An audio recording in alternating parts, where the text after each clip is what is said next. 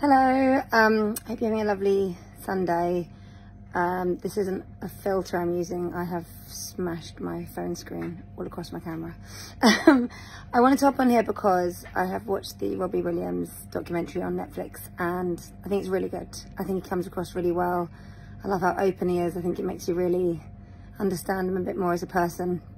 And I'm also aware that I feature in it. I have a cameo because there's a clip from me when I'm 19 years old in 1998 and I am not being very kind.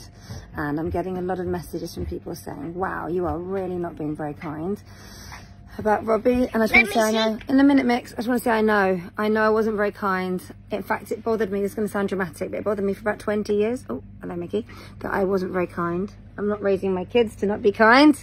Am I, Mickey? I'm so, sorry. Oh, not sorry about anything, Bubby. I'm Everything's sorry. fine. All right, everything's fine, Mickey. Um, anyway, I just wanted to say, I know I was horrible. I felt terrible. I said sorry. I didn't even mean it. And Robbie was incredibly gracious and we've made up. In fact, we've made some music together. Oh, you're ripping your card Wait, wait. Oh my God, he's just ripped his card again. Wait, stop, stop, Okay, okay. Oh my gosh. stop. Life as we know it. Stop actually. Anyway, all is well except for Mickey's newly broken hoodie. Have a lovely weekend. Bye.